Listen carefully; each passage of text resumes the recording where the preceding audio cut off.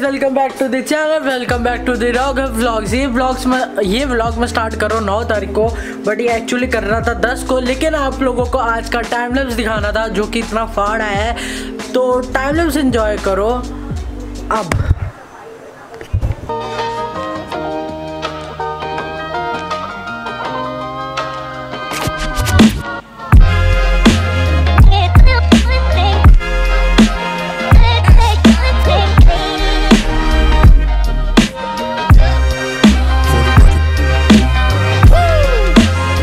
Day two. So guys welcome back to the next और आपका मतलब आप लोग भी कह रहे होगे, यार, तीन वीडियो हो गई।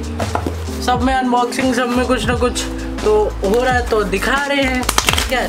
तो ये प्रोडक्ट हमें भेजा है एम ए जी ने। और ये प्रोडक्ट हर लिक्विड इंजन के लिए बहुत ज़्यादा ज़रूरी है, जिनमें रेडिएटर है। बिकॉज़ एक भी पत्थर आपके रेडिएटर की हालत खराब कर सकता है और अगर कूलेंट लीक हो गया तो आपको पता है बाइक कितनी हीट होती है। तो खोल के देखते हैं क्या है इसमें और फिर आप लोगों को दिखाते हैं।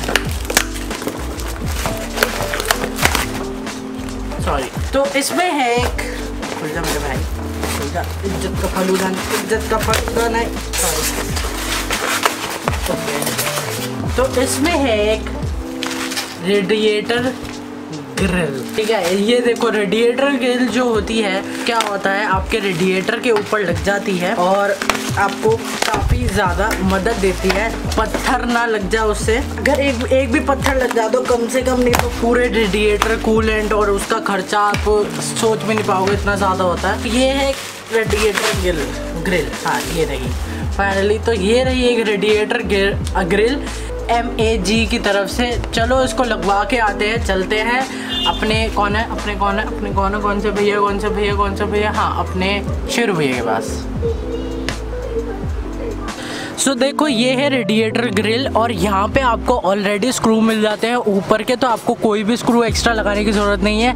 यहाँ पे भी नीचे दो स्क्रू मिल जाते हैं और यहाँ पे बिल्कुल फिटिंग है आपकी स्क्रूज़ की। तो आपको कोई एक्स्ट्रा स्क्रू लगाने की ज़रूरत नहीं है। बिल्कुल परफेक्टली आप इसको लगा सकते हैं। सो so, इसमें तीन और कलर दो और कलर है बट मैंने ऑरेंज मंगवाया क्योंकि नीचे का पार्ट थोड़ा ऑरेंज ही अच्छा लगेगा। तो अब इसको लगा के दिखाते हैं कैसा लगता है। ग्रिल क्यों ज़रूरी है जिनमें रेडिएटर है? सबसे बड़ी बात, जब आपका ये टायर घूमता है ना, तब पत्थर जो उड़ के आते हैं, वो कई हद तक ये चीज़ नहीं रोक पाती। कभी आप लॉन्ग राइड पे जाएँगे तो आपको पता चलेगा कि आपकी बॉडी को और ये भी मैंने इसलिए लगा रखे ताकि पत्थर मेरे हाथ पे हिट ना करे। तो यही रीज़न है। सबसे ज़्यादा इसका ये रीज़न है क्योंकि अगर यहाँ पे एक भी पत्थर टकरा और कूलर लीक हो गया, आपकी बाइक कहीं पे भी नहीं चल पाएगी। मैंने अब तक चला ली, मेरे को नहीं पता, भगवान मेरे साथ था, पता नहीं क्या था। लेकिन बच्ची बड़ी थी अब तक, लेकिन ये लगानी बहुत ज़रूरी है।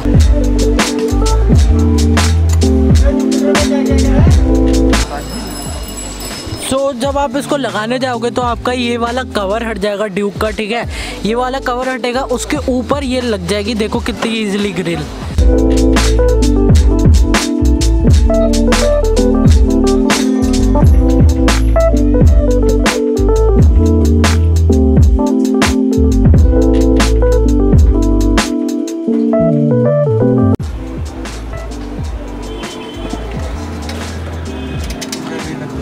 तो एक बात बता देता हूँ, ये जो है आप लगवाने जाओगे तो ये नीचे वाले नट बोल्ट पहले बाहर आएँगे, उसके नीचे से लगेगी ये।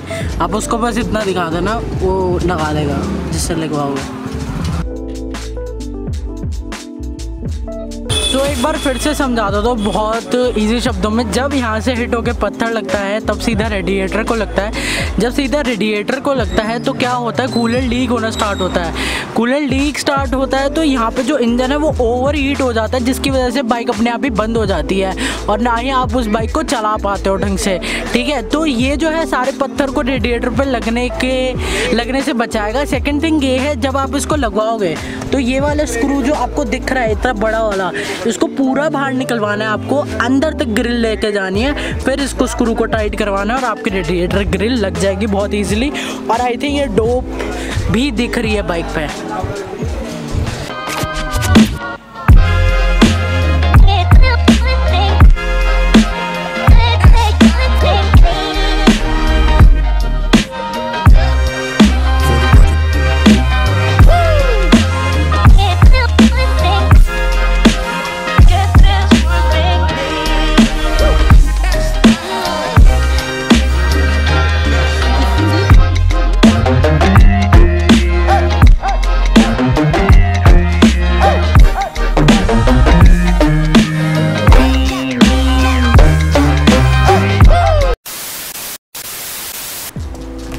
Okay I am done with my gym और भाई साहब लेग्स और भाई साहब एक साथ मारा। मतलब जिस दिन मेरे को कार्डियो नहीं करना होता ना, मैं उस दिन दो जगह की एक्सरसाइज मार लेता तो बहुत ही अच्छा वर्क कर रहा सेकंड थिंग काफ़ी लोग ये पूछेंगे राघव तू इस चीज़ की इतनी तारीफ़ क्यों कर रहा है?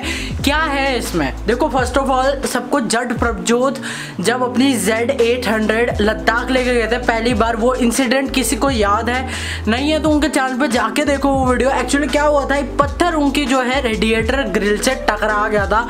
और इस कुल राइड पे मैं हर समय यही डर रहा था कि भाई साहब, ये पत्थर इंजन केज जैसे मेरा इंजन केज का सीन हुआ था, वहाँ से ऑयल निकला था, या फिर रेडिएटर को ना लग जाए, इसलिए जब खड्डे आ रहे थे मतलब ख़राब तो रोड पूरे रास्ते थी, जब भी आ रही थी, मैं बहुत ज़्यादा केयरफुल था, किसी भी बड़े पत्थर से ना जाओ बिकॉज़ रेडिएटर पे एक पत्थर गेम ओवर कर देता वहीं के वहीं। वहाँ पे ठंड है, इतना ज़्यादा कुछ होता नहीं बट बाइक तीन चार किलोमीटर से ज़्यादा भी नहीं चल पाती। मैं शायद गलत हो सकता हूँ इस नॉलेज में बट जहाँ तक मैंने इसके बारे में सुना है, बस वही है कि बाइक बहुत जल्दी गर्म हो जाती है बिकॉज़ बाइक से सारा कूलेंट ही निकल जाता है। बेस्ट बाय लिंक डिस्क्रिप्शन में है, जाके ले सकते हो। ठीक है? और एम एस जी को thank you for sending me this और मैं काफ़ी टाइम से ढूंढ रहा था, काफ़ी अच्छा है। देखो, ढाई लाख की चीज़, में अब तीन लाख की हो गया है ऑलमोस्ट थ्री नाइन्टी तीन लाख की चीज़ में अगर आपको ढाई हज़ार रुपये की कोई चीज़ लगाने और उससे आपकी एक राइड अच्छे से हो जाती है, कोई दिक्कत नहीं आ रही राइड पे तो मेरे हिसाब से तो कोई बुराई नहीं है। तो जाओ, खरीदो, जिनके पास भी मतलब उनके पास डिफरेंट है मतलब डिफरेंट डिफरेंट बाइक्स के हैं। जाओ चेकआउट करो, नीचे वेबसाइट का लिंक है कि आपकी बाइक के लिए अवेलेबल है कि नहीं, जिनके पास रेडिएटर है, और भी एक्सेसरीज है उनके पास बाइक की, वो भी जाके देखो। क्या पता आपको कोई अच्छे लग जाए और आप जाके ले लो, और समझ गए होंगे। तो बाय गाइस जय हिंद, वंदे हमारा भारत की जय good quality helmets and all seat belt वाले driving bye guys love you all thank you so much for your all support आज है सैटरडे मैं खाऊँगा पनीर टिक्का. बाय